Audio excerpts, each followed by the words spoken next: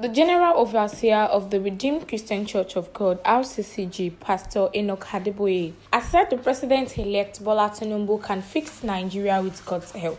Adeboye said Nigeria would prosper under Tinubu's administration. The clergyman urged Tinubu to fulfill Nigeria's dream of a new nation. Adeboye, represented by his special assistant, Pastor Dele Balogun, spoke at the monthly Thanksgiving service at the RCCG headquarters in Ebute Metta. According to Adeboye, let us pray for the incoming government that God will support it and give it the grace to do the right thing. Thank God the president elect has promised to fix Nigeria if God helps him. Nigeria will prosper in his hands. Tinubu would be inaugurated on May 29 as the next president of Nigeria.